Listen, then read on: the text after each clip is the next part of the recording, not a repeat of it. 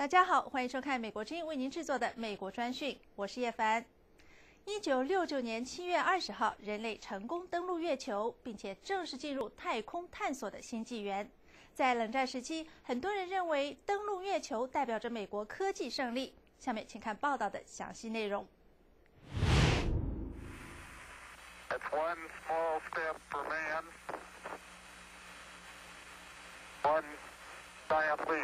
美国宇航员阿姆斯特朗从阿波罗十一号名叫飞鹰的登月舱，在月球上迈出历史性的第一步。登月当时被认为是美国太空计划的最高点，而美国的登月计划是和苏联太空竞赛长达十年的产物。十二年前，苏联发射了第一颗人造卫星，并送入环地轨道。然后，苏联宇航员加加林进行了第一次环绕地球的载人太空飞行。美国总统甘乃迪誓言，美国要在六十年代登月。I believe that this nation should commit itself to achieving the goal before this decade is out of landing a man on the moon and returning him safely to the earth. 八年后，阿波罗十一号实现了这个历史使命。一九六九年七月十六日，三位宇航员阿姆斯特朗、奥尔德林和柯林斯进入了阿波罗十一号太空船，由土星五号火箭发射，飞往月球。卡纳维拉尔角发射场聚集大约一百万人，目睹这次升空。太空船用了四天时间进入了月球的轨道。在月球的另一侧，飞鹰号登月舱已经脱离太空船，而且脱离了登月遥控。警报器提醒宇航员，向导系统显示他们前面是一块洼地，而不是叫做近海的平地。阿姆斯特朗当机立断，操控登月舱下滑着陆。当时只剩下二十秒钟的燃料。六小时之后，阿姆斯特朗步下旋梯，描述月球的景色。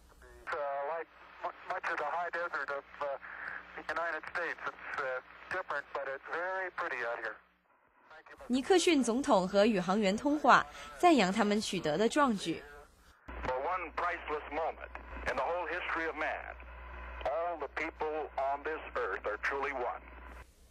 阿姆斯特朗和奥尔德林在月球漫步二十多小时之后，发动飞鹰号升空，与柯林斯控制的太空船对接，然后飞回地球。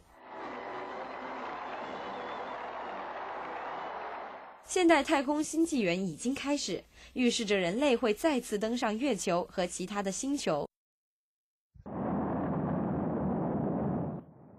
美国当时的重点是载人太空飞行，到一九七二年为止，已经进行了另外五次的登月行动。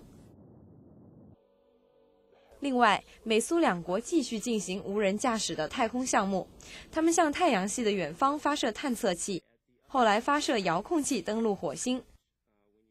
围绕地球运转的哈勃天文望远镜发回遥远星系壮观的图片。美国在二十世纪八十年代最初通过太空穿梭机计划，然后从一九九八年开始通过国际太空站来限制载人围绕地球的飞行。这一计划有来自美国、俄罗斯、日本、加拿大、巴西和另外十一个欧洲国家的参与。两次灾难事故改变了美国的太空计划。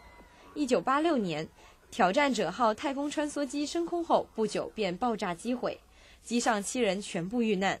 两千零三年，哥伦比亚号返回地球时失事，机上七人也全部遇难。在加州帕萨迪纳的行星协会执行理事弗里德曼表示，两次灾难促使大家重新思考人类如何实现探测地球之外星球的使命。Humans are explorers. The idea of sending the of making the cost and risk of human spaceflight requires destinations because you have to explore new worlds. 两千零四年，布殊总统宣布在二零二零年前重返月球，并以月球为基地，二零三零年后实现载人登上火星。登月第一人阿姆斯特朗说：“阿波罗登月开创了新纪元。” Apollo was a demonstration that humanity is not forever chained to this planet. 其他国家也加入到探索太空的行列中。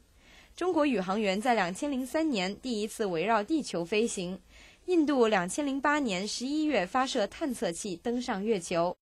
弗里德曼说：“阿波罗和平竞争的精神仍在继续，而且随着人类对地球和太空的认识不断扩大，也开创了合作的前景。”记者博尔曼、奥沙利文综合报道。